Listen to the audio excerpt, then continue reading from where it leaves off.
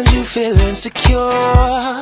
Trust me, babe. My take on the music industry, Yeah. just coming back from the MAMAs, it's I think that the African continent is electrifying and the world should watch out because looking at our African artists makes me very, very excited.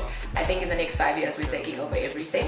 So that makes me feel like, yeah, I want to be a part of this con- continent and I am a part of the continent, so it's quite exciting. And who am I feeling right now? Wow.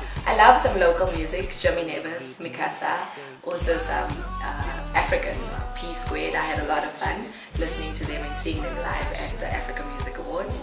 So yeah, I'm, more of a local girl, but I do listen to ballads by Sam Smith, um, Ed Sheeran, and also some Ellie Goulding.